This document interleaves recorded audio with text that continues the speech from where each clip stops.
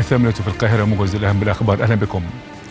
شدد الرئيس السيسي على أهمية تفعيل الجهود الدولية لمكافحة الإرهاب والتطرف بكافة صوره وأشكاله. وفي استقباله الوفد من الكونغرس الأمريكي أكد الرئيس على حرص مصر على ترسيخ دعائم دولة المدينة الحديثة بما يشمله ذلك من إعلاء لسيادة القانون ومفهوم المواطنة. فضلا عن بذل أقصى الجهود لتحقيق التوازن ما بين صون الحقوق والحريات وبين حفظ الأمن والاستقرار.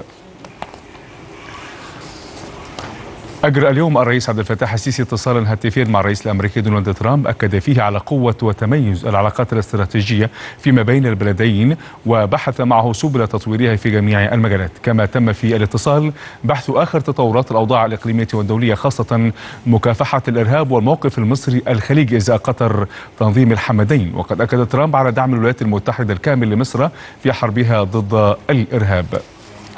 أعلن وزير خارجية سامح شكري قبل قليل بيان الدول الداعمة أو الداعية لمكافحة الإرهاب في ختام اجتماعهم بالقاهرة بشأن خطواتهم المستقبلية تجاه قطر تنظيم الحمدين. وقال البيان للدول الداعية لمكافحة الإرهاب إنه قد تم الاتفاق على التجديد على مطالب الدول الأربعة بمكافحة الإرهاب ومنع تمويله أو توفير الملاذات الأمنة له. وقد حدد البيان ستة مطالب أساسية لقطر وطلبها بالتوقف عن تهديد السلم والأمن الإقليمي والدولي.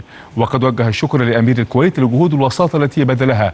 وقد اتفق المجتمعون على اجتماع مجددا في المنامة لمتابعة الموقف. بدوره قال وزير خارجية السعودية عادل الجبير إن قرار الدول الأربع تجاه قطر جاء نتيجة لدورها في دعم الإرهاب والتطرف. أضاء الجبير أن المقاطعة العربية مستمرة حتى تعدل الإمارة من سياساتها للأفضل وأشار إلى أن هناك تشاورا مستمرا مع وزراء الدول العربية بخصوص الخطوات المقبلة.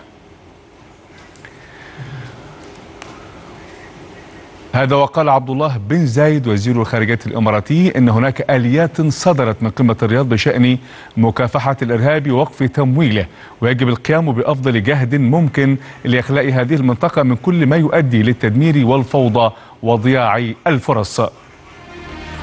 نهاية موجز الأخبار. شكرا لكم وإلى ملتقى.